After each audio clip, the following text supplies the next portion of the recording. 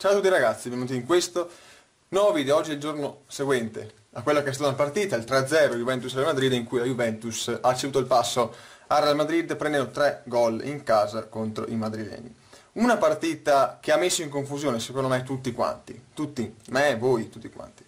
Eh, credo che però dopo 24 ore, quasi 24 ore, comunque dopo una notte passata dormendo e cercando di rielaborare un po' i pensieri, si sia arrivato il momento in cui si deve fare, deve fare un po' di... Eh, di comprensione di quello che è successo, di ordine mentale, capire come abbiamo giocato noi, come abbiamo giocato loro, perché sono arrivati certi gol.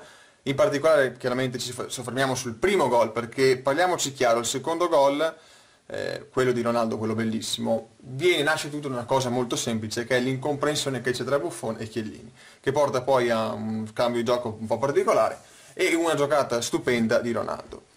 Tolto quel gol, che c'è molto merito di Ronaldo, anche se c'è molto anche lì di merito nostro, il terzo gol è il gol di finimento, quello che non conta mai nulla, un po' il 4-1 di Asensio in finale, un po' il 3-1 in finale eh, due anni prima contro il Barcellona, sono quei gol che non contano nulla. Tutto nasce sul primo gol, anche le difficoltà dopo di recuperare un risultato negativo, tutto però nasce anche da un fatto che ieri alla fine gli episodi sono contati molto di più di quella che è stata la partita, la gestione di una partita in 90 minuti.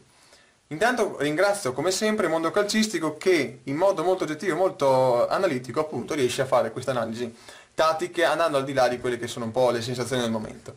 Eh, ho capito molte cose in più di quello che in realtà eh, avevo compreso ieri, anche se qualcosa in realtà ero riuscito un po' a comprenderlo, perché quando ho detto nel mio video post partita, anche molto a caldo, che la Juventus aveva anche gestito molto bene la partita, più del Real, in effetti non mi sbagliavo e andremo a vedere perché. Lo faremo però chiaramente dopo la sigla.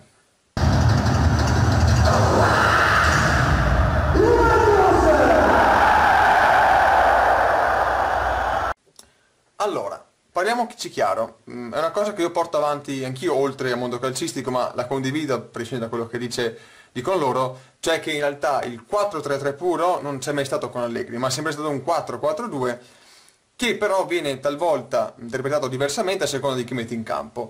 Siamo abituati a un 4-4-2, posso pensare, chiamatelo 4-4-2 o 4-2-3-1 con i due esterni che vanno giù, è un po' indifferente in realtà, possiamo chiamarlo anche 4-4-1-1 con Dybala dietro eh, Higuain. Possiamo chiamarlo in tanti modi, però è anche vero che quello che si è visto ieri è molto simile a quello che si è visto contro il Napoli. Lì c'era Matuidi come esterno a sinistra, ieri c'era invece Alexandro.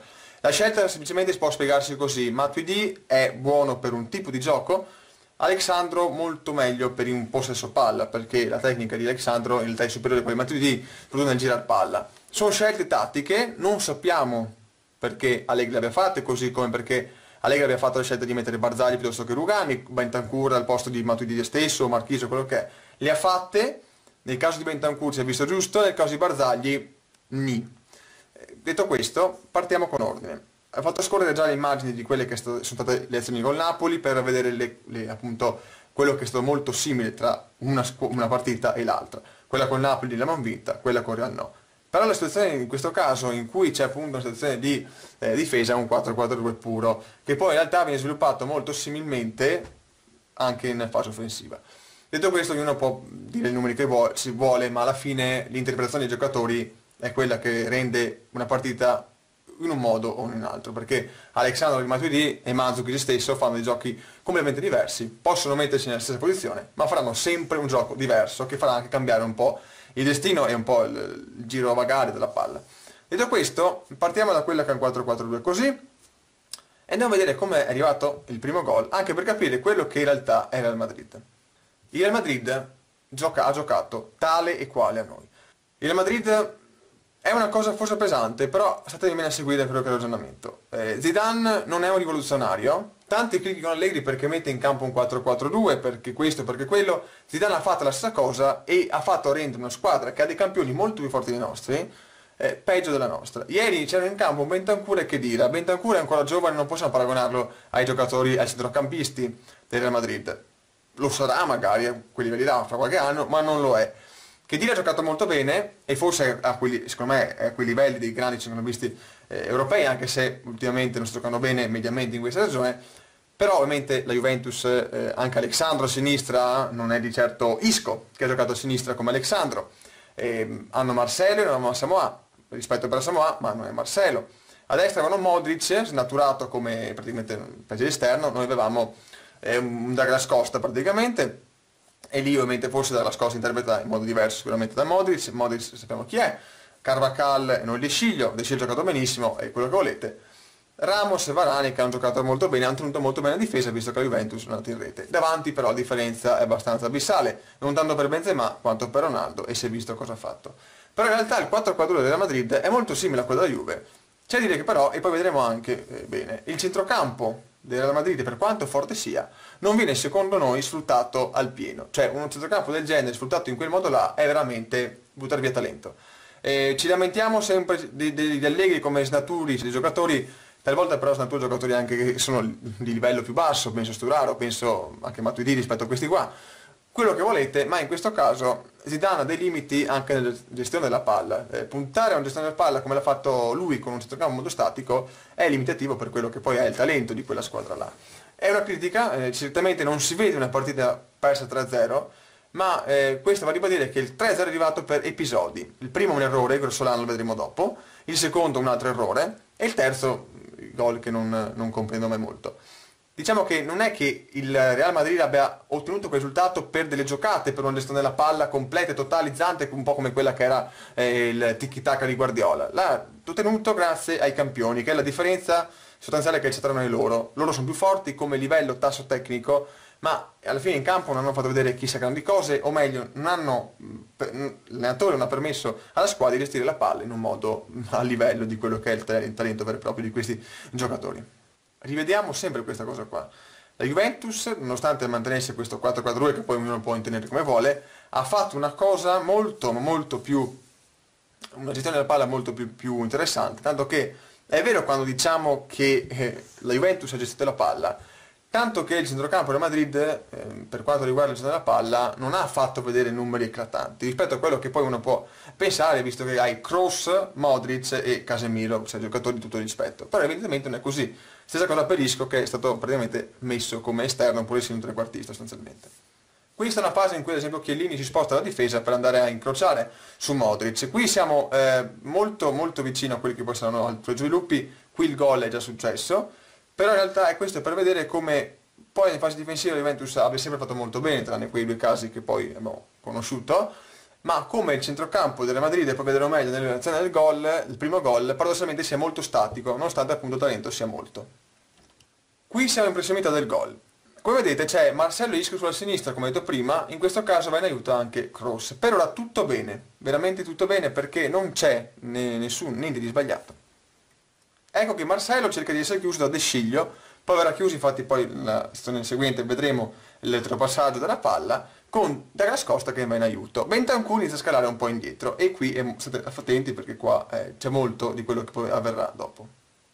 La palla torna indietro, come vedete il centrocampo del Real Madrid è ancora molto statico, Modric è sempre nella stessa posizione, tutti i giocatori non si muovono senza palla, cercano solo di passarsi da di loro e cercare delle varianti. Questo gol qua è arrivato solo perché poi noi vedremo come abbiamo sbagliato qualcosa, non tanto perché il Real Madrid è stato bravo a trovare questo gol, tranne quello che è stato poi il guizzo finale di Ronaldo, che chiaramente è un giocatore a parte. Tanto che qua la palla torna addirittura indietro. Questo perché non c'erano spazi, perché la Juventus in quel momento stava chiudendo perfettamente tutti i buchi possibili. Ecco che però Isco, il campione, inizia a fare un movimento che poi recherà non pochi danni. Douglas Costa indica a Bentancur, seguilo. Bentancur, insomma, inizia a seguirlo in realtà lo segue ma neanche troppo. Qui la palla torna ancora indietro, Marcella la da, indietro, Isco resta in quella posizione in cui si era inserito. Bentancur, come vedete, non è che stia proprio seguendo eh, appunto Isco, è un po' sul chi va là, cosa che in realtà porterà non, a non pochi danni. Ecco, Bentancur qui sbaglia. E il discorso di De Sciglio e Douglas Costa era perfetto perché Douglas Costa prima ha indicato Bentancur di andare su Isco, cosa che doveva fare, cioè rimanerci, nel senso che Isco non è che si era ritirato indietro, è rimasto là sul filo del fuorigioco cercando poi la palla nuovamente, cosa che troverà, Bentancur lascia spazio ed è qua il primo errore e non è neanche l'unico. Andiamo a vedere quello che succede in mezzo all'area.